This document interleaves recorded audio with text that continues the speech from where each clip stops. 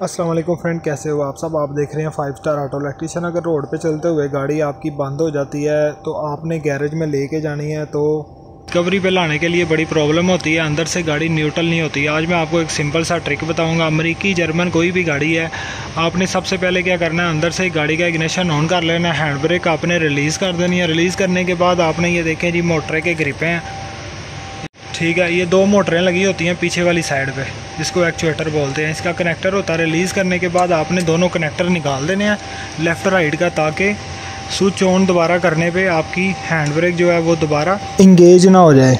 ठीक है? तो उसके बाद आपने क्या करना है जी? ये देखें ये इसका गेयर है। ये गेयर लगा हुआ है। ये ये एक पिन लगी है। ठीक है? आपने इसको यहाँ से दस की चाबी डाल के इसको आपने फुल ऊपर की तरफ़ थोड़ा टाइट होगा। वो फुल ऊपर की तरफ़ करके इसको व्हील टाई के साथ आपने बाँध देना। ठीक है? उसके बाद आपने स्विच ऑन करना है, आपकी गाड़ी न्यूट्रल हो जाएगी हैंड ब्रेक रिलीज़ हो जाएगी। अगर ग्रिप नहीं उतारेंगे, इसको इस तरह आप न्यूट्रल करने के बाद स्विच ऑन करेंगे हैंड ब्रेक आपकी ऑटोमेटिक लग जाएगी। ठीक है?